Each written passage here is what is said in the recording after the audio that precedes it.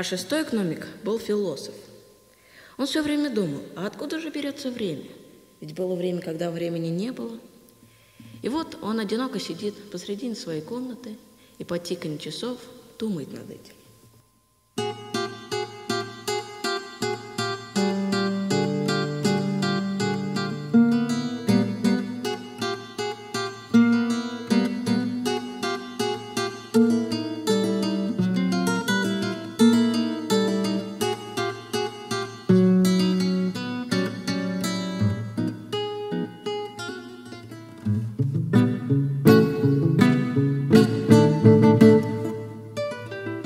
thank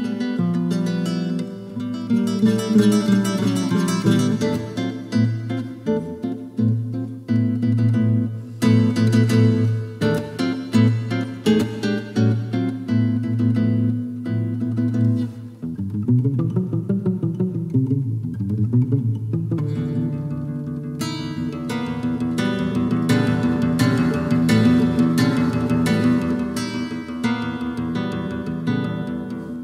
thank you